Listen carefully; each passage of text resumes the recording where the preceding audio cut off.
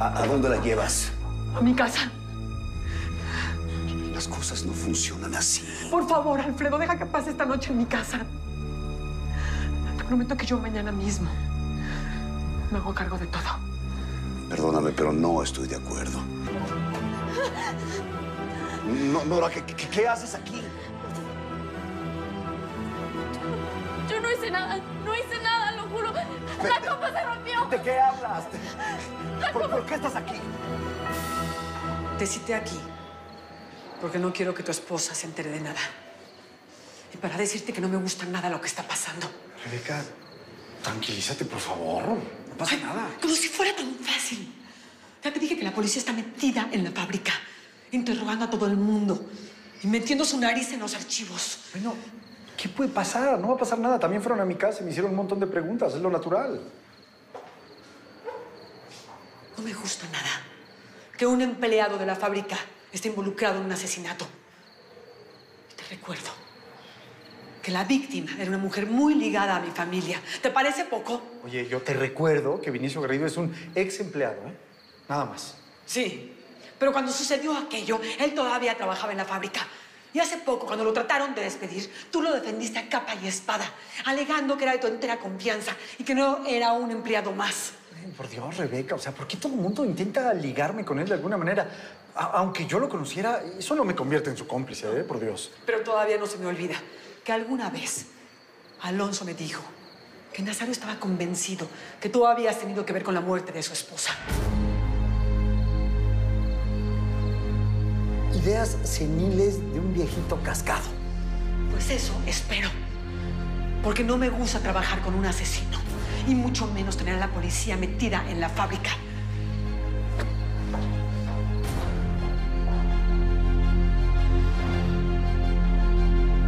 Aquí está mi boleto.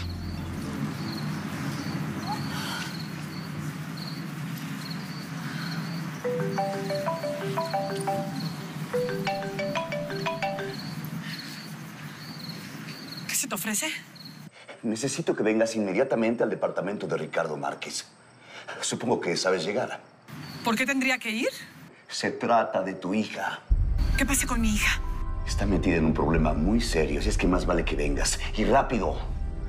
Alfredo, ¿qué tiene mi hija? Alfredo.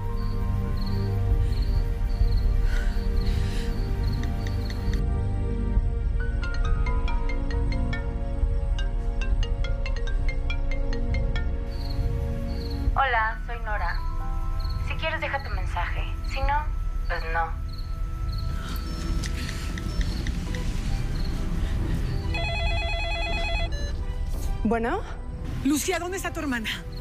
no tengo la menor idea. ¿No está en la casa? ¿No está contigo? No creo, porque su coche no está. ¿Por qué pasa algo? Tía, Alfredo, ¿qué hace mi hija aquí? Por el amor de Dios, dime cómo está. Cálmate, dentro de todo tu hija está bien. Quiero verla. No, no, espera. Quiero verla, por No, favor. eh, eh, espera. ¡Suéltame! Por favor. ¡Suéltame!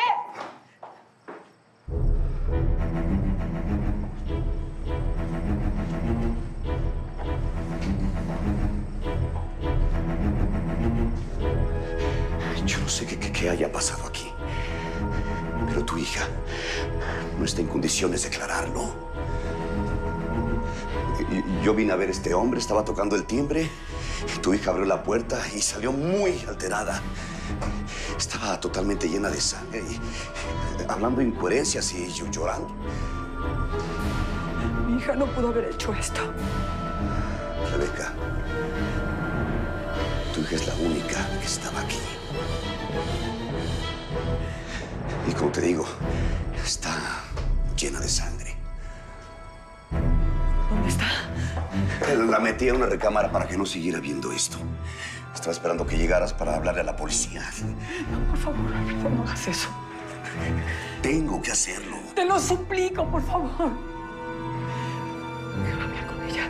Necesito verla. Necesito apoyarla, por favor.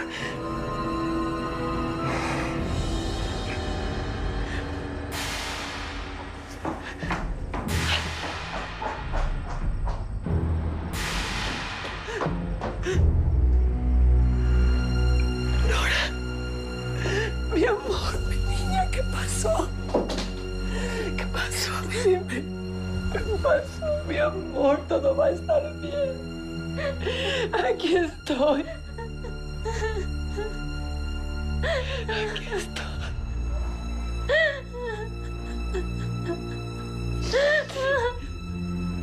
Mi amor. Vámonos a la casa. Allá hablamos. Vámonos.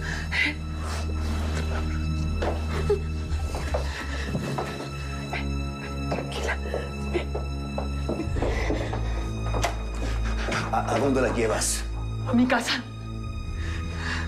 Las cosas no funcionan así. Por favor, Alfredo, deja que pase esta noche en mi casa. Te prometo que yo mañana mismo me hago cargo de todo. Perdóname, pero no estoy de acuerdo. Esto es un asunto muy delicado. Solo hasta mañana.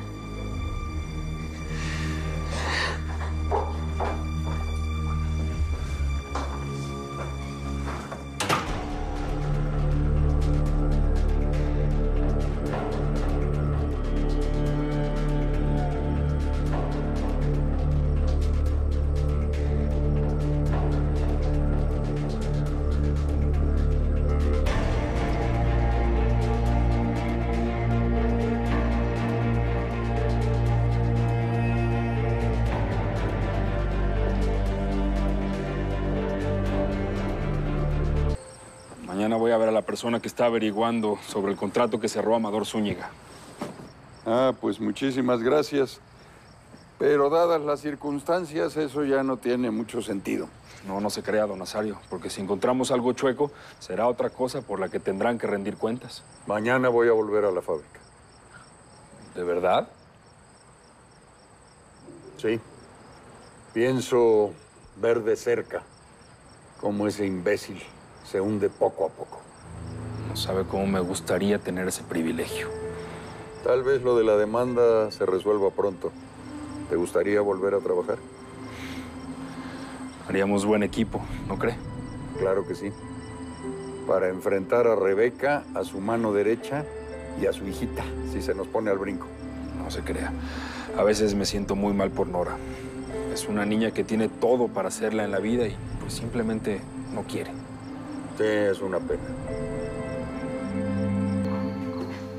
Tía, qué bueno que encontraste a mi hermana porque me dejaste muy preocupada. Pues ya ves que no tenías que preocuparte de nada. ¿Qué tiene? No te acerques. Bueno, dime qué le pasa. Nada, tu hermana está perfectamente bien. ¿Nora? ¿Nora, estás bien?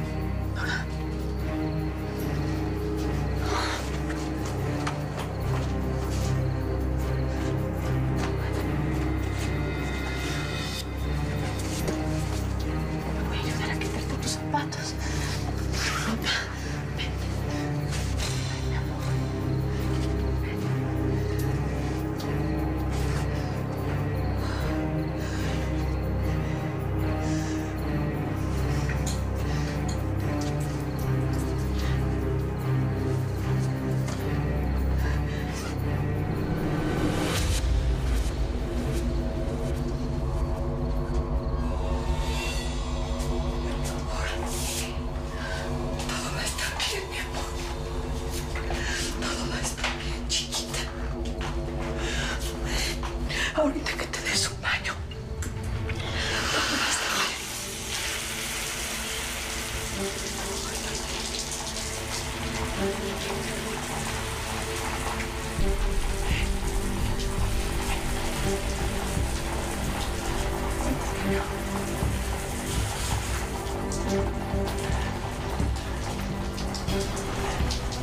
Y hoy vas a dormir conmigo, sí, mi amor.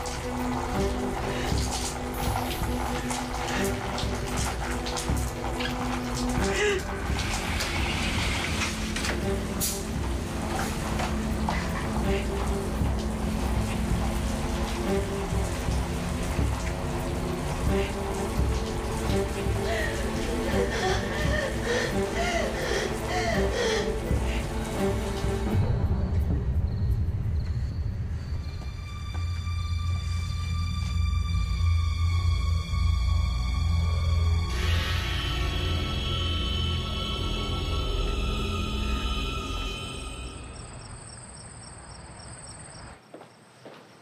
Daniela.